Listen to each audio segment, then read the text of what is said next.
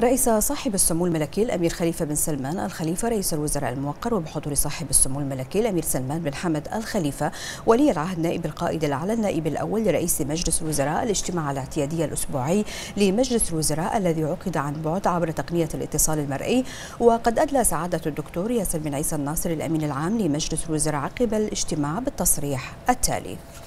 أعرب صاحب السمو الملكي رئيس الوزراء الموقر على الاعتزاز والتقدير للمشاعر النبيلة المفعمة بالمحبة والتي أظهرها المواطنون والمقيمون ابتهاجا بنجاح الفحوصات الطبية التي أجراها سموه مؤخرا بما عبروا عنه من تمنيات صادقة تبعث على التقدير والامتنان سائلا سموه المولى عز وجل العون والتوفيق في مواصلة البذل والعطاء لخدمة جلالة العاهل المفدى الملك حمد بن عيسى الخليفة حفظه الله ورعاه وشعب مملكة البحرين العزيز. بعدها أعرب مجلس الوزراء عن خالص أمنياته وتمنياته بالشفاء العاجل لخادم الحرمين الشريفين الملك سلمان بن عبد العزيز آل سعود عاهل المملكة العربية السعودية وأن ينعم المولى عز وجل عليه بموفور الصحة والعافية لمواصلة مسيرة الازدهار والرخاء في المملكة العربية السعودية الشقيقة. ثم أعرب مجلس الوزراء عن صادق تهانيه إلى حضرة صاحب السمو شيخ صباح الأحمد الجابر الصباح أمير دولة الكويت على نجاح العملية الجراحية التي أجريت لسموه سائلا المولى عز وجل أن ينعم على سموه بالشفاء العاجل وأن يديم عليه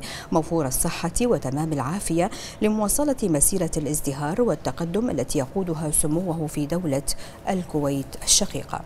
بعدها كلف صاحب السمو الملكي رئيس الوزراء الموقر كل من وزير الأشغال وشؤون البلديات والتخطيط العمراني ووزير الإسكان لمواصلة الزيارات الميدانية للقرى والمدن لتفقد احتياجات أهاليها الخدمية والإسكانية والعمل على حلها ومنها توبلي والقرى المجاورة. من جانب آخر فقد وجه صاحب السمو الملكي رئيس الوزراء الموقر إلى تطوير الأسواق المركزية خدميا ومرافقيا وإعادة تأهيلها وتوفير ما يلزم لتلبية الحاجات الأساسية فيها لخدمة الباعة والمتسوقين. ومنها سوق سترة المركزي ومجمع سترة التجاري فيما وجه سموه إلى تكثيف حملات التفتيش والرقابة على السلع والمواد الغذائية في مراكز البيع المختلفة للتحقق من جودتها وسلامتها. بعد ذلك نظر المجلس في المذكرة المدرجة على جدول أعماله واتخذ بشأنها من القرارات ما يلي. أولا بناء على التوجهات الملكية السامية لحضرة صاحب الجلالة الملك المفدى حفظه الله ورعاه لتوحيد الجهود الوطنية لمواجهة انعكاسات انتشار فيروس كورونا كوفيد 19 عالميا على المستوى المحلي بما يحافظ على صحة وسلامة المواطنين والمقيمين بالتوازي مع استمرار برامج الدولة ومسيرة عملها تحقيقا لمساعي التنمية المستدامة لصالح المواطنين ومتابعة لقرارات الحكومة برئاسة صاحب السمو الملكي رئيس الوزراء ودعما للجهود الوطنية بقيادة صاحب السمو الملكي ولي العهد نائب القائد الأعلى النائب الأول رئيس مجلس الوزراء فقد قرر مجلس الوزراء إعفاء الشركات الصناعية التي تصدر ما لا يقل عن 30% من منتجاتها إلى الخارج والقائمة في المناطق الصناعية التابعة لوزارة الصناعة والتجارة والسياحة. من الإيجار المستحق عليها لفترة ثلاثة أشهر بدءا من يوليو 2020 وإعفاء الشركات العاملة في القطاعات الأكثر تأثرا من دفع رسوم تجديد السجل التجاري ورسوم أول ثلاثة أنشطة تابعة للسجل التجاري لعام 2020 وإعفاء المنشآت والمرافق السياحية من دفع الرسوم السياحية للربع الثالث من عام 2020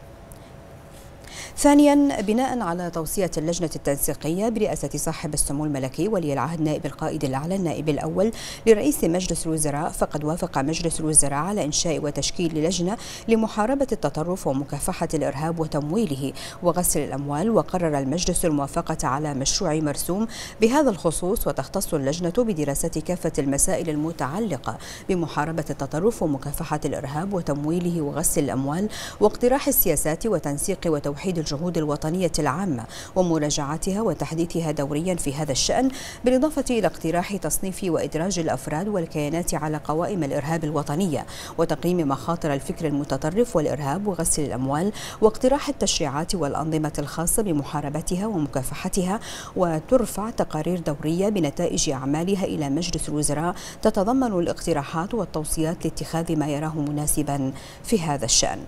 ثالثا وافق مجلس الوزراء على مشروع قرار يجيز لهيئة الكهرباء والماء إسناد مهام الفحص والاختبار على التمديدات الكهربائية إلى جهات خارجية مرخصة من قبل الهيئة المذكورة وفقا للشروط والضوابط التي تحددها بالتنسيق مع الجهات المختصة. وقرر المجلس الموافقة على مشروع قرار بإضافة فقرة جديدة إلى المادة 113 من القرار رقم 2 لسنة 2010 بشأن نظام التمديدات الكهربائية. كما وافق مجلس الوزراء على مشروع قرار ينظم التأمين على حساب الكهرباء والماء ويطبق بموجبه التأمين على جميع حسابات الكهرباء والماء إذا كان العقار المسجل عليه الحساب غير مملوك للمشترك. للمشترك كما يطبق التأمين أيضا على الحسابات الفرعية المرتبطة بالحساب الرئيسي مع استثناء الحساب الرئيسي من التأمين. وقرر المجلس الموافقة على مشروع قرار باستبدال الفقرة واحد من المادة الثانية من القرار رقم 2 لسنة 2015 بشأن تنظيم وتحديد مبالغ التأمين على حسابات الكهرباء والماء.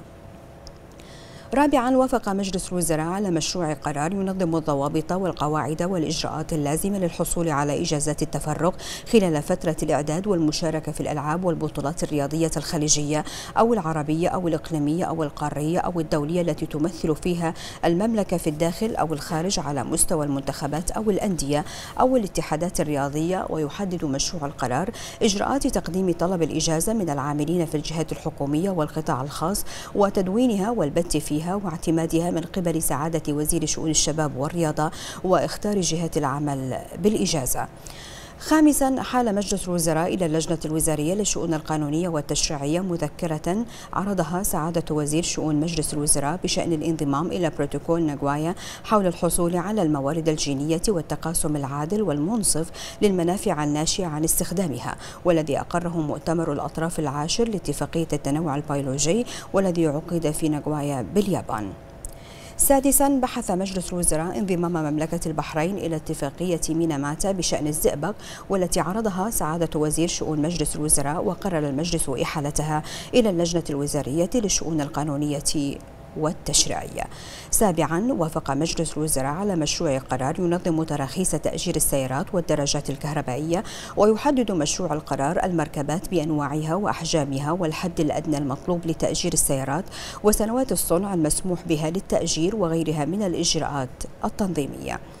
ثامنا وافق مجلس الوزراء على اقتراح برغبة بشأن إقامة مركز خدمة متكامل لشؤون الجنسية والجوازات والإقامة المتحقق من خلال ثلاثة فروع على مستوى المملكة بالإضافة إلى اتجاه وزارة الداخلية إلى التعامل الإلكتروني تسهيلا على المراجعين وضمان سرعة الإنجاز.